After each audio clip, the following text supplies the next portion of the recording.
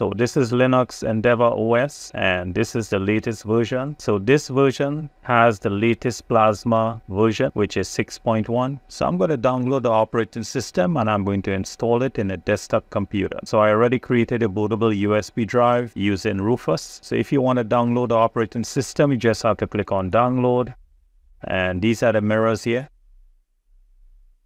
So I already downloaded the ISO file. So I booted up the desktop computer with a USB drive. I'm going to select the USB drive to boot up from. So on this boot menu, there are some choices. There's the default and there's NVIDIA. So if you have an NVIDIA card, you can choose this option. I'm going to select the first option.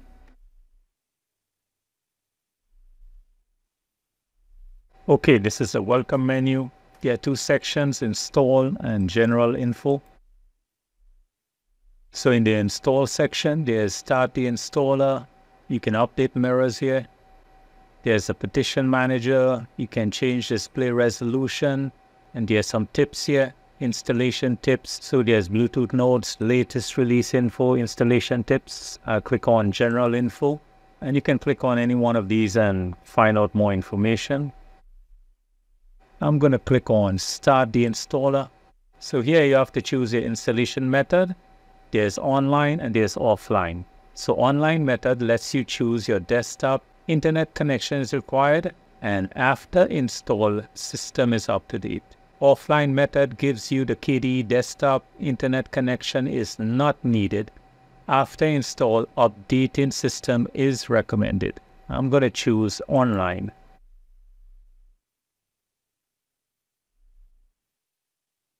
So this is the installer menu. Here you have to choose your language. I'm going to leave it as American English and click next. This is the location. You can choose your location here, choose your region, choose a zone. You can also move this red dot to your region and zone. I'll click next. So this is the keyboard settings and layout. I'm going to leave it as is. I'll click next. So here you have to choose your desktop and these are the selections. So there's no desktop. There's Plasma KDE, and this is a preview, and this is an explanation here. This is GNOME, XFCE4. This is Cinnamon, Mate. This is Budgie. This is LXQT, LXDE. This is i3WM. I'm going to select Plasma KDE. I'll click next. So this is the packages section and this is an overview of packages to install and a possibility to refine your selection. There's also a drop down tab here. And here you can check and uncheck any one of these.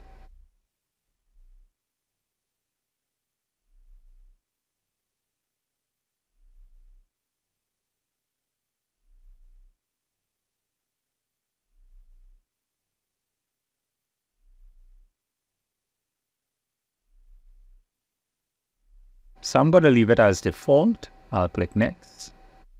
So here is where you choose your bootloader. There's the grub and there's no bootloader.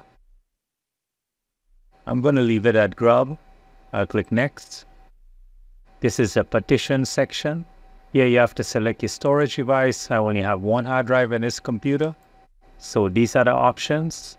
Install alongside, replace a partition, erase this, or manual partitioning. So install alongside is if you have another operating system, you like to install Endeavour OS alongside that operating system, you can choose this option. I'm going to select erase disk. So there's no swap, swap no hibernation, swap with hibernation, and swap to file. I'm going to leave it as no swap. So I have to choose the file system. There's extended for and BTRFS. I'm going to select BTRFS. This is also the bootloader location. I'm going to leave it as default. Click next. So I have to create a user account here. I'm going to type a name. I'll type a password. So there are two options here, log in automatically without asking for password. I'm going to leave that on check and use the same password for the administrator account. I'm going to leave that checked. I'll click next. This is a summary of the settings and selections. I'll click install, install now. So it's all done. I'm going to select restart now, click done.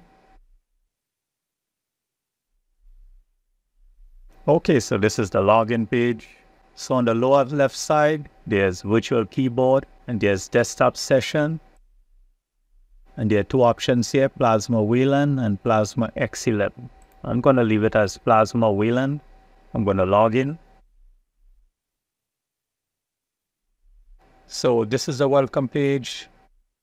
There's general info after install. You can update the system from here.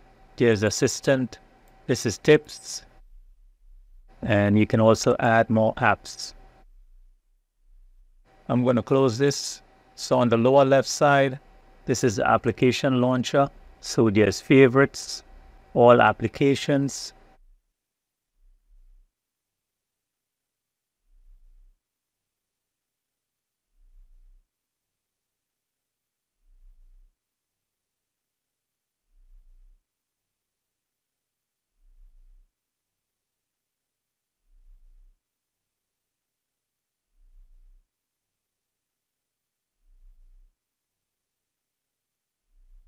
This is development. This is graphics. This is internet. This is multimedia. This is office. Settings. This is system.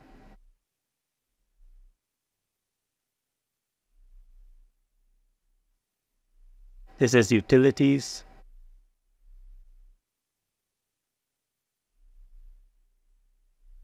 This is the Dolphin file manager.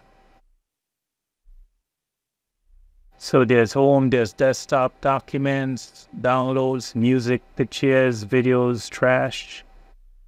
I'll open some of the pictures. I'll click on show editing tools. This is mirror. This is flip.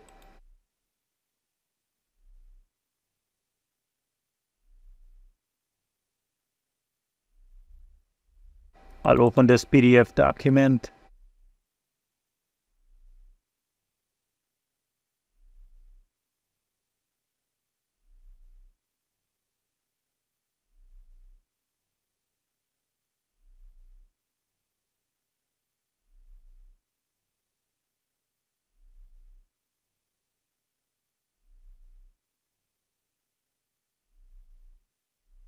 So it opened with Okular. So on the right side, this is the peek at desktop icon. This is the time and date.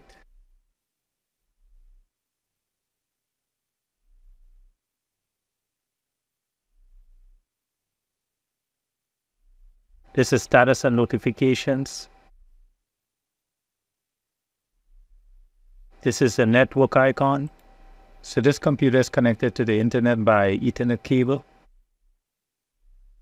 I'll click on the speaker icon and these are some of the settings.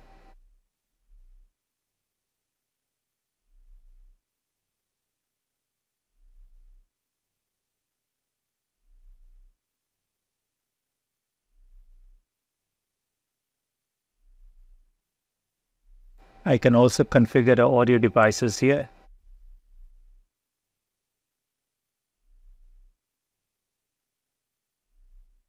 So I'm going to right click the desktop, select desktop on wallpaper.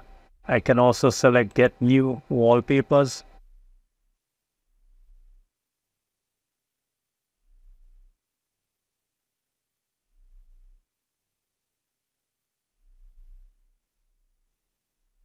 So I'm going to download the Reef wallpaper. So I'll open Firefox.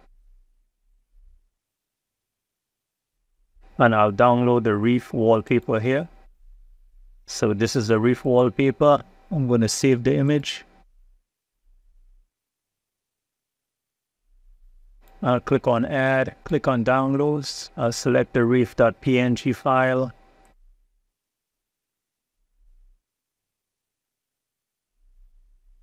So one of the features of the KDE Plasma 6.1 is the shake cursor feature. I just have to shake the cursor on the screen and the cursor increases in size. So I'm going to enable the cube feature. I'm going to go to settings, system settings. I'll select Windows management. I'll select virtual desktops. So there's only one virtual desktop here. I'm going to increase it to five. I'm going to click on add desktop. I'll click apply and it shows here on the panel. I'll select desktop effects.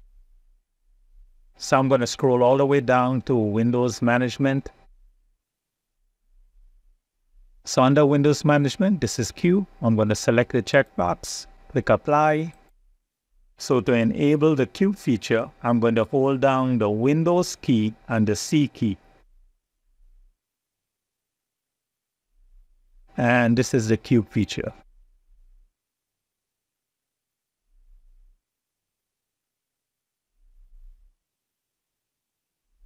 And to get out of this screen, just hit the escape key on the keyboard. So on desktop effects, there's a lot of features here. So I'll right click the panel. I'm going to select show panel configuration. So these are the panel settings. I can change the height of the panel here. The default is 44. I'll click on position so I can move the panel position. I'll click on the left arrow and the panel is on the left side.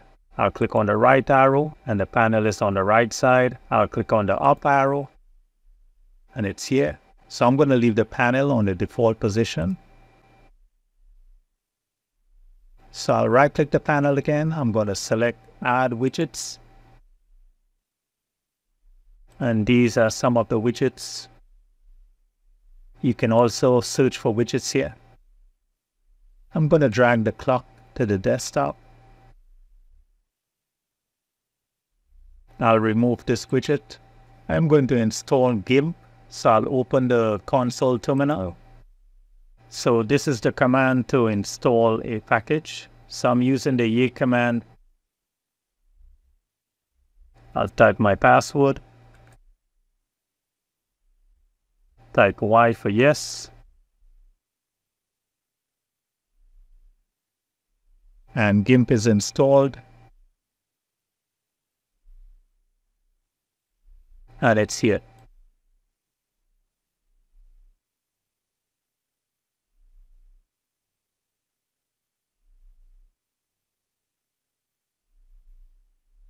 I'm also going to install KRunner.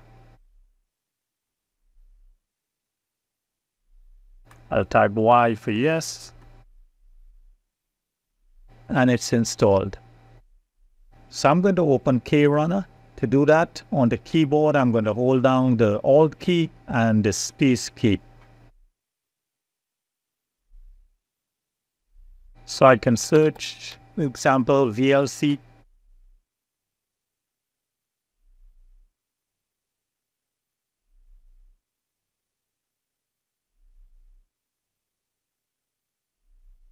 So you can get more information about the new Plasma KDE 6.1 version and some of the new features are listed here.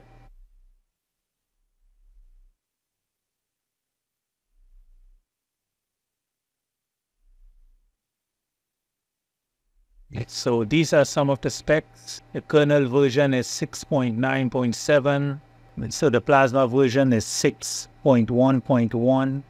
This is the CPU and the GPU.